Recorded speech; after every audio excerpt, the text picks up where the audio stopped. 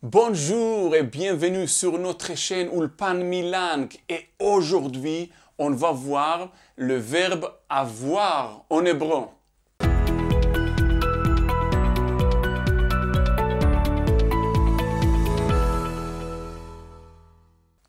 Alors il y a beaucoup de gens qui me demandent Dan, est-ce que le verbe avoir existe en hébreu? Ok? Alors la réponse est non.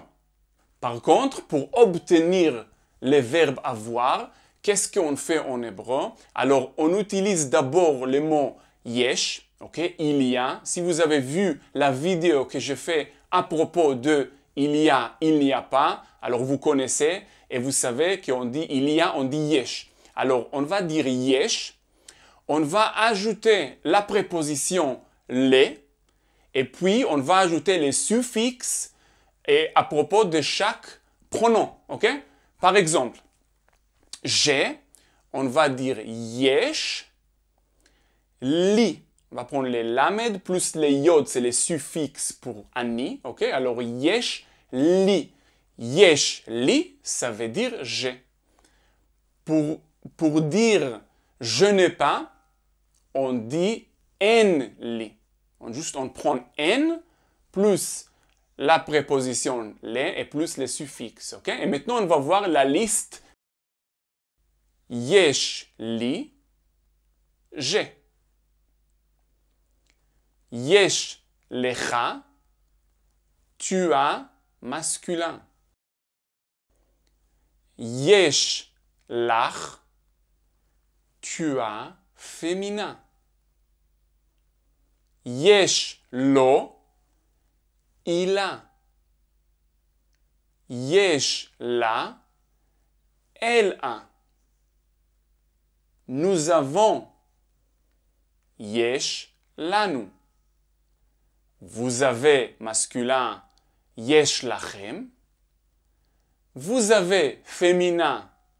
Yesh lachen. Ils ont.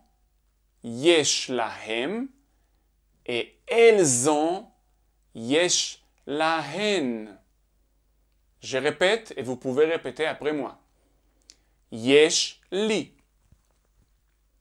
Yesh lecha. Yesh lach. Yesh lo. Yesh la. Yesh lanu. Yesh lachem. Yesh lachen. Yesh lahem. Yesh lahen. OK Alors, pour dire par exemple j'ai un livre, Yesh li sefer.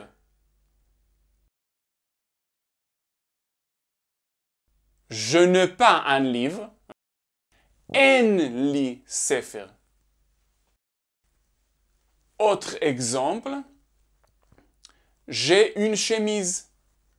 Yesh li.